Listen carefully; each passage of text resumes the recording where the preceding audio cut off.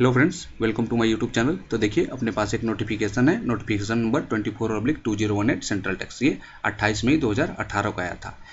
इसको पढ़ने से पहले आपको ये बता दूँ मैं, ये किस रिगार्डिंग है? जितने भी लोगों ने जीएसटी प्रैक्टिशनर का रजिस्ट्रेशन कराया है, या फिर रजिस्ट्रेशन कराएँगे, उनको रजिस्ट्रेशन कराने के बाद एक एग्ज़ाम देना होगा।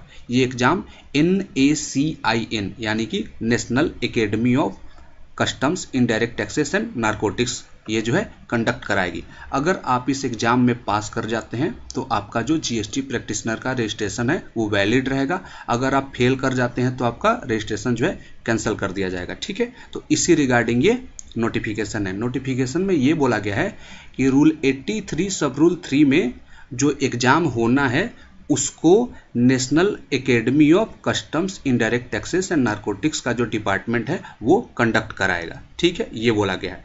अब रूल 83 सब रूल 3 में कौन सा एग्ज़ाम है? ये देख लेते हैं। रूल 83 सब रूल 3 बोलता है कि जीएसटी प्रैक्टिशनर का रजिस्ट्रेशन तभी वैलिड रहेगा अगर आप एन द्वारा आयोजित एग्ज़ाम पास कर लेते हैं। अगर आप पास नहीं कर पाते हैं तो आपका रजिस्ट्रेशन जो है कैंसिल कर दिया जाएगा। इसी तरह ये नीचे क्या बोला गया है कि एस और टी को अपॉइंटेड डेट के एक साल के अंदर एग्ज़ाम पास करना होगा, नहीं तो उनका जीएसटी प्रैक्टिशनर वाला रजिस्ट्रेशन जो है वो कैंसिल हो जाएगा।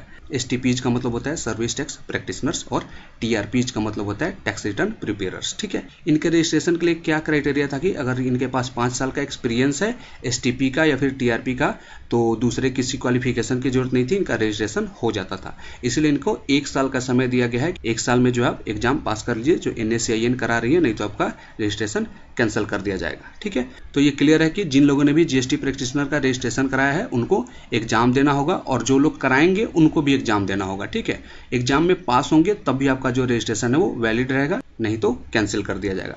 अब ये बात आएगी कि एग्ज़ाम कब होगा और कैसे होगा या फिर क्या सिलेबस होगा। तो देखिए, अभी तो केवल ये नोटिफिकेशन आया है 28 मई को कि एन एग्ज़ाम कराएगी। अब एन को अभी ऑथोराइज किया गया है एग्ज़ाम लेने के लिए। तो ये धीरे धीरे अपना सिस्टम बनाएगा प्रोसेस बनाएगा, कैसे एग्ज़ाम लेना है, उसके बाद एग्ज़ाम कंडक्ट होगा, ठीक है? तो उसके लिए हम जब तक तो कोई अगला नोटिफिकेशन नहीं आ जाता है वेट करेंगे और देखते हैं क्या और कैसे होता है। तो अगर आपको मेरा ये वीडियो अच्छा लगा तो उसको लाइक कीजिए, मेरे चैनल को सब्सक्राइब कीजिए। Thank you thank you for watching my video